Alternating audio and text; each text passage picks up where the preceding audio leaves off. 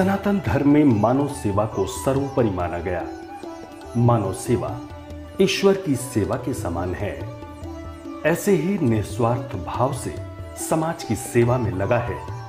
दिव्य प्रेम सेवा मिशन। दिव्य प्रेम सेवा मिशन एक आध्यात्मिक, प्रेरित, स्वैच्छिक सेवा संगठन है, जो पिछले 25 वर्षों से मानव सशक्तिकरण और सामुदायिक पुनरुद्धार के लिए कार्यरत है।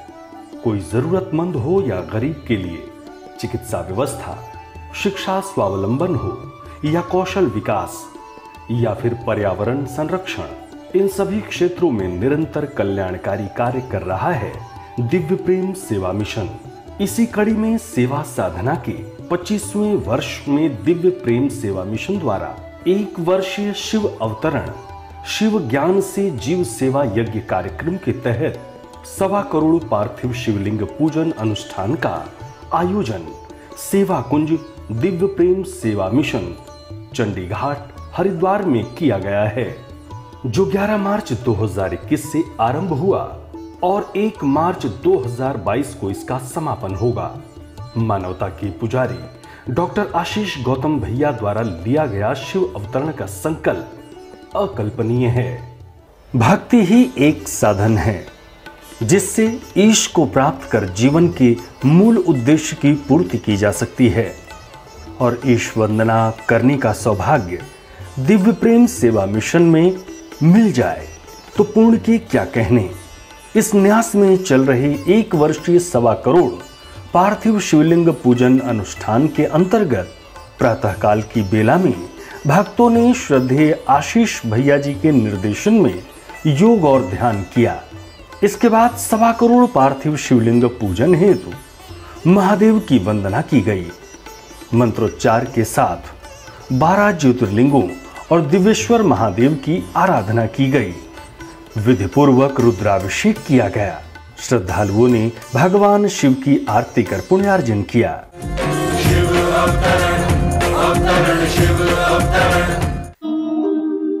ज्ञान विज्ञान तृप्तात्मा कूटस्थो विजितेन्द्रियः युक्त इत्युच्यते योगी समलोष्टाश्मकाञ्चनः। ज्ञान विज्ञान तृप्तात्मा जिसका अंतकरण ज्ञान विज्ञान से तृप्त है। कूटस्थ, जिसकी स्थिति विकार रहित है। विजतेन्द्रिय जिनकी इंद्रियाँ भली भांति जीती हुई हैं। समलोष्टाश्म कांचन जिसके लिए मिट्टी, पत्थर, सुवर्ण एक समान है। योगी, वह योगी, युक्त। युक्त अर्थात भगवत प्राप्त है इति उच्यते, ऐसा कहा जाता है। लगातार जो चर्चाएँ कर रहे हैं, योगारूढ़ होने की, भगवत प्राप्ति की, भगवत प्राप्ति व्यक्ति की, लक्षण की, स्वभाव की, वो कैसा है, इसका आकलन दुनिया का कोई व्यक्ति कर नहीं सकता, अपने अलावा। तो जो ये आपका शब्द आया है, विज्ञान। होता है क्या कि विज्ञान यानी बाह्य वस्तुओं का ज्ञान करना, जानकारी करना। कुतूहल, न्यूटन कुछ कहता है, कुछ साल बाद आइंस्टीन कुछ कहते हैं, बात गिर जाती है। जिसके जीवन में कुतूहल मने बाहर की जानकारी प्राप्त करने का जो सिस्टम है, तंत्र है उसको विज्ञान। इसलिए जो व्यक्ति जितना ज़्यादा मेच्योर होता है, समझदार होता जाता है, प्रौढ़ होता जाता है, उसके कुतूहल खत्म हो जाते हैं। यानी जो विज्ञान से, यानी कुतूहल से, भागने से, दौड़ने से, जानकारी जुटाने से, पचासों किताबें पढ़ने से और ज्ञान यानी जो अपने बारे में जानकारी प्राप्त करना और अपने बारे में क्या करोगे ज्ञान? कितनी जानकारी करोगे? यही ना स्थूल शरीर है। तो हम उसको कर्म क्षेत्र, क्रिया क्षेत्र उसका है। सूक्ष्म शरीर है, उसका विचार शरीर है, चिंतन शरीर है। कारण शरीर है तो समाधि शरीर है। तीनों ये पैदा हुए हैं, प्रकृति से तीनों का अंत भी होना है, तीनों का होना अंत। हमारी विचार का भी, क्रिया का भी, समाधि का भी, स्थूल शरीर का भी, सूक्ष्म का भी, और हमारे कारण शरीर का भी, तीनों मिटना है, तीनों अनित्य हैं। तीनों अनित्य है, आत्मा नित्य है, परमात्मा नित्य तो इनकी इससे संतुष्टि कैसे हो सकती है? नहीं हो सकती ना। जो चीज़ अनित्य है, जिसकी, जिसका आदि और अंत यानी शुरू भी होता है, अंत क्रिया शुरू होती है, अंत होता है, विचार शुरू होता है, अंत होता है, समाधि शुरू होती है, अंत होती है। कारण, स्थूल शरीर पैदा होगा, जाएगा, विचार शरीर पैदा होगा, जाएगा, कारण शरीर पैदा होगा, जाएगा। इसलिए तीनों अनित्यता का बोध होने लगे। ज्ञान का और विज्ञान का। ज्ञान ये विज्ञान ये है। जो इन ज्ञान विज्ञान से तृप्त हो गया है, शांत हो गया है, शम हो गया है, योग के आसन पर बैठ गया है। विषय क्लियर हो रहा है ना? ज्ञान और विज्ञान का एक विज्ञान विज्ञान यानी बाहर की जानकारी जुटाना कुतूहल, बस। फिर अगला शब्द आता है कूटस्थ। कूटस्थ हम गाँव के लोग हैं, जल्दी समझ जाएँगे। अपने यहाँ गाँव में लुहार काम करता है ना तो एक और मोटा सा एक लोहे का आधार उसके पास होता है, गुटका जैसा। आहरण कहते हैं उसको आहरन उस पर वो लोहे की लोहे की चीज़ों को मज़े से अपने चिमटे से पकड़ के गलाता है और फिर साड़ी से पकड़ के फिर ठोंकता है। जो अपने गाँव में स्वर्णकार होते हैं, देखा होगा सोने का उसका भी छोटा सा लोहे की निहाई होती है, आहरण। उस पर सोना गलाना, रखना और छोटे छोटे औजारों से ठोक पीट के उसमें आपके लिए हार बनाता है। आभूषण बनाता है। इसलिए जो लेकिन कितने आभूषण बन जाते हैं, कितने लोहे की सामग्री कितने प्रकार की बन जाती लेकिन कूटस्थ यानी आहरण ज्यो का त्यों रहता है ना, वो निर्विकार है। उसके ऊपर सब कुछ चलता है। छेनी, हथौड़ा, घन छोटे छोटे औज़ार सब चलाए जाते, लेकिन कूटस्थ, यानी आहरण निहाई, स्थिर रहती है, निर्विकार रहती है, अपरिवर्तनीय रहती है। उसमें कोई चेंज नहीं होता। कितना भी कूटो, कितना भी ठोको, कितना भी पीटो हाँ उसके द्वारा हार बनता है, आभूषण बनते हैं, अंगूठी बनेगी, बहुत प्रकार की, उससे जितने प्रकार के लोहे के घर में काम आने वाली चीज़ें हैं, जंजीर बना देता है, हंसिया, खुरपी, फावड़ा, सब चीज़ें निर्माण कर देता है। आधार क्या है? निहाई। निहाई निर्विकार है। उसमें कोई विकार नहीं आता, परिवर्तन नहीं होता। ऐसा योग, यानी कूटस्थ बाहर की किसी हलचल का समुद्र का उदाहरण कई बार मैंने दिया है। बाहर लहरें आती जाती हैं। लहरों में बहुत कुछ देख सकते हैं, आप सुनते हैं, लेकिन अंदर समुद्र स्थिर है, शांत है, गंभीर है, गहरा है। इसी प्रकार से कूटस्थ, यानी उसमें निर्विकार है। विजतेंद्रिय। माने जो इंद्रियों का गुलाम नहीं है, इंद्रियों का मालिक है। इंद्रियों में शक्ति है ऊर्जा है, ज़रूरी है उनकी शक्ति और ऊर्जा हमारे लिए, लेकिन वही जैसे आपके पैर हैं, शक्ति है, ऊर्जा है, विकलांग हो जाए, कुछ कर नहीं सकते, पैर नहीं है, अब यही पैर वेश्यालय भी ले जा सकते हैं, मदिरालय भी ले जा सकते हैं। चोरी करने ले जा सकते हैं, हिंसा करने ले जा सकते हैं, अपराध करने ले जा सकते हैं। और यही पैर आपको मंदिर ले जा सकते हैं, तीर्थ में ले जा सकते हैं, सेवा की ओर ले जा सकते हैं, साधना की ओर ले जा सकते हैं, मंदिर की ओर ले जा सकते हैं, गंगा जी की ओर ले जा सकते हैं। ये इतने प्रकार के आपके काम के हैं, आप सो, लेकिन इसका मालिक कौन है? मालिक अगर ठीक नहीं है, मालिक अगर नेगेटिव है, मालिक अगर नकारात्मकता से भरा है, हिंसा से भरा है, क्रोध से भरा है, घृणा से भरा है, किसी को भी चोट देना चाहता है, शोषण करना चाहता है तो ये मालिक वही कराएगा। इसलिए इंद्रियों को, इंद्रियों का विजेता है, इंद्रियों को अपने अनुसार चलाता है। और याद रखिए, जिसने भी इंद्रियों को अपने अनुसार चलाया, भौतिक जगत में भी इंद्रियाँ ज़्यादा दिन काम करेंगी उसकी। साठ साल, सत्तर साल की उम्र में दांत नहीं टूटता।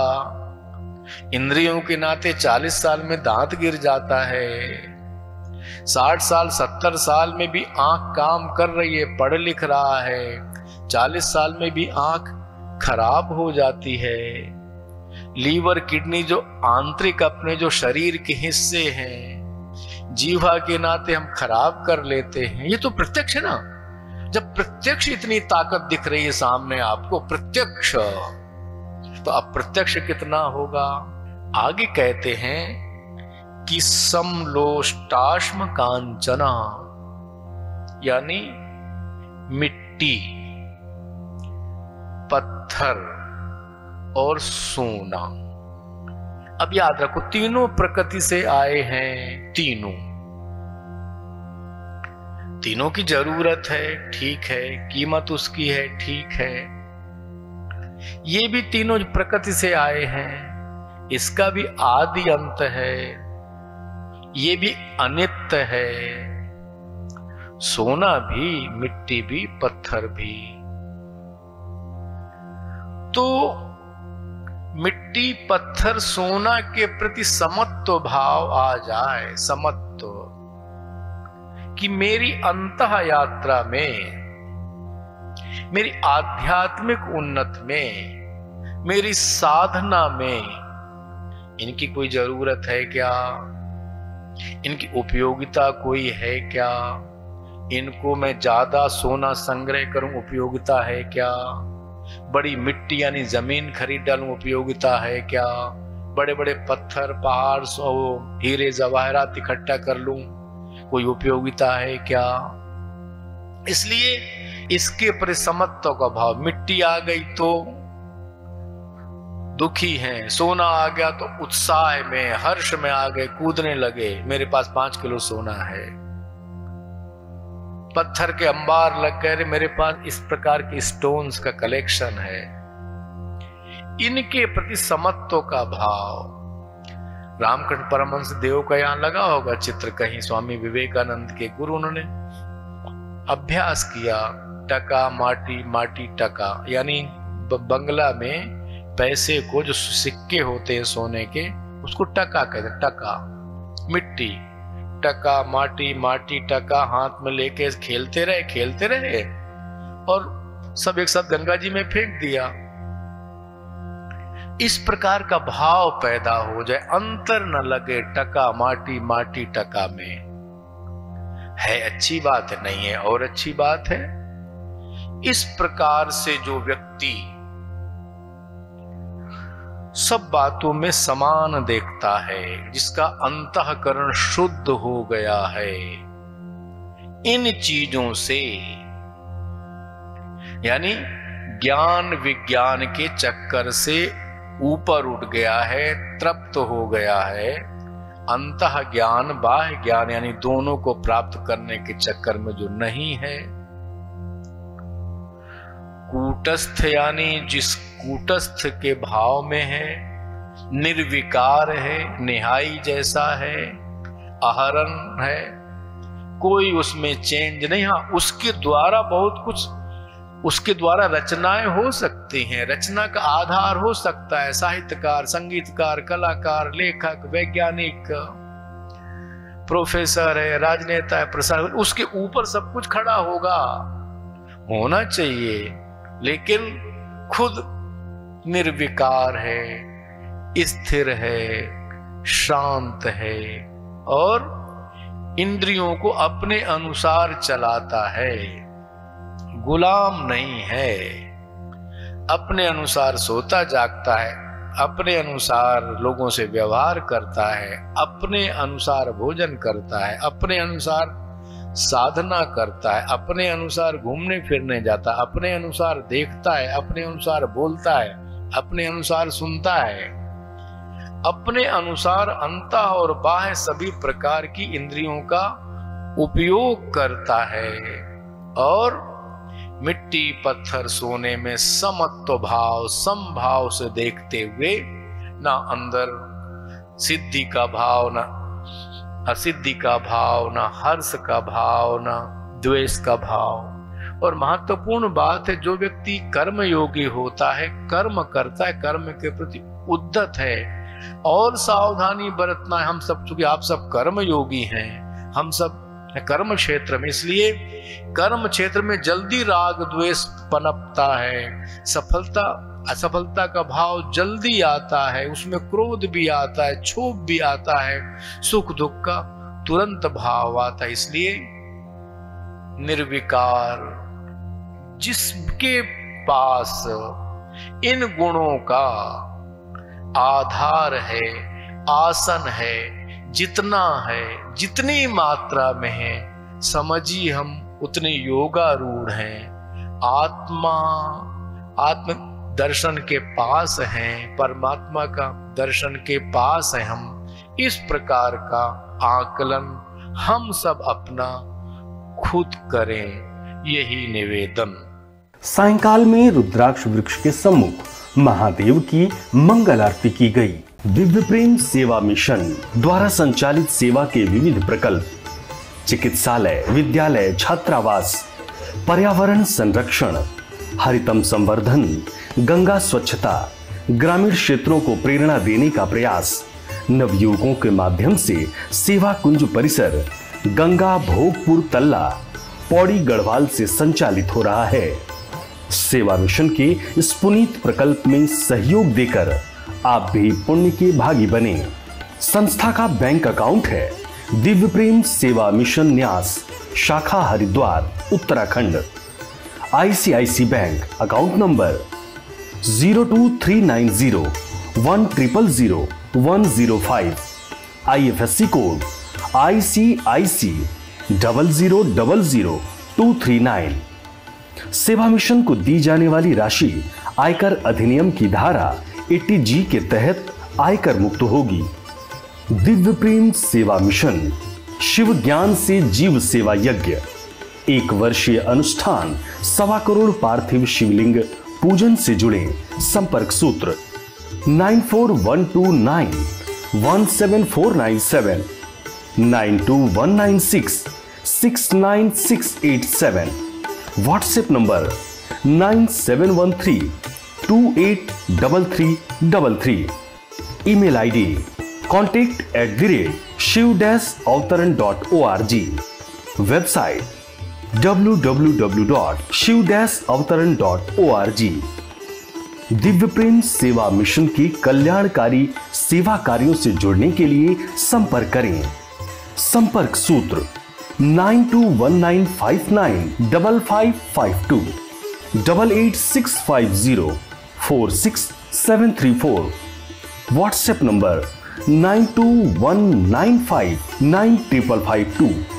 Email I D Divya Prem zero three at the rate Gmail dot com website W W W dot Divya Prem dot co dot in